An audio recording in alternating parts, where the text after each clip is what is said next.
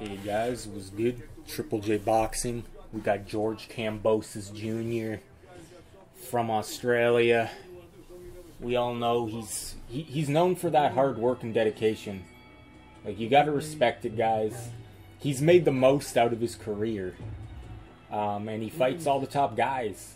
Like look at look at the worth ethic is definitely not unnoticed. That's what when I think George Kambosos, I just think hard worker and uh, loves to just loves to compete and loves to stay active.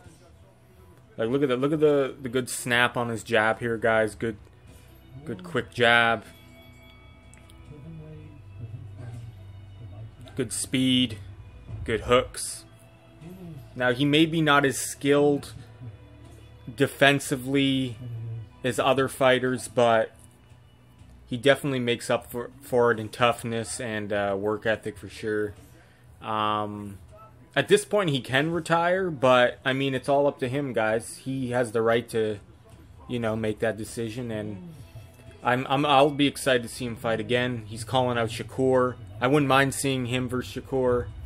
Um, definitely would be a test for Shakur. Um, in the sense he's never fought I wouldn't say he's never fought someone like yeah he's never fought someone like Kambosos, but I feel like just the the grit and the heart of Kambosos would be a test for Stevenson.